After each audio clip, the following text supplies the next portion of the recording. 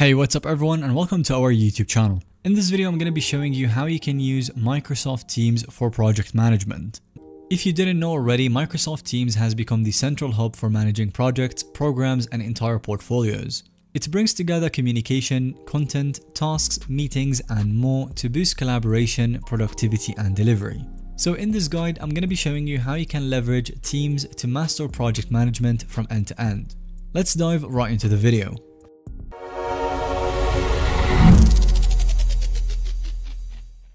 Starting with structuring teams, channels, and groups. The foundation of Microsoft Teams is establishing your organizational structure correctly using teams, channels, and groups. And this includes creating a program team.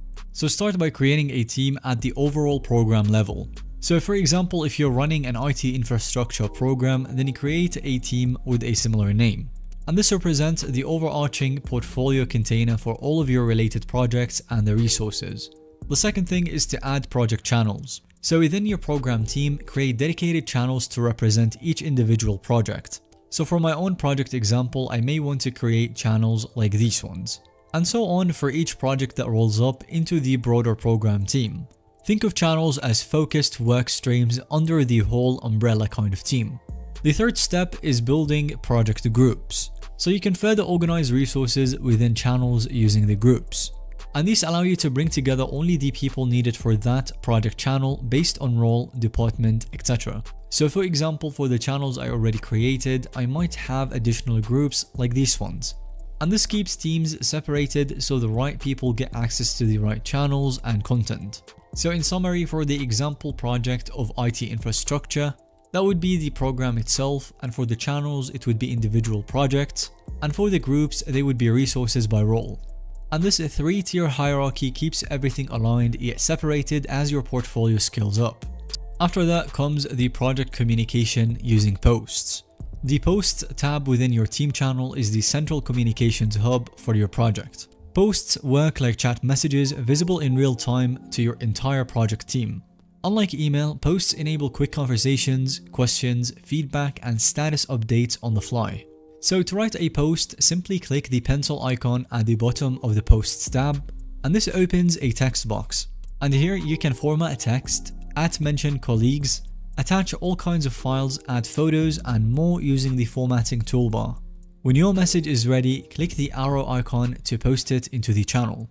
And for the critical announcement that you want to emphasize, click the three dot on your post and select mark as important and this flags the post with an exclamation icon to signal its urgency so people don't miss it. After that, you can utilize getting feedback and approvals by at mention stakeholders in your post to get their attention right away and feedback. For official approvals, click the three dots and select ask for approval, assign approvers and track status. And if your channel gets busy, then use the search bar to find posts by keyword or name. You can also save key posts as pinned for quick access later on. So in summary, use posts for conversations, announcements, approvals, questions, status updates, and more. It's so much faster and more effective than email. You can also use the Files tab within your channel to store and share all important project documents and collateral. And this would include things like presentations, specifications, contracts, budgets, and so much more. With Teams' built-in SharePoint integration, your files are accessible 24-7 to your team, from any device or location with no more emailing files around. Set up a clear folder structure with subfolders to categorize and organize related project documents.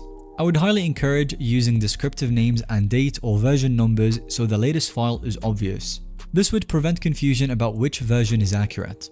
With shared files, you get true real-time co-authoring. Multiple people can work on the same file at the same time. And beyond just your team, you can still share files by clicking on share and after that you will get a unique link to send to stakeholders outside your team for access. But remember to set permissions, expiration dates, and password protection.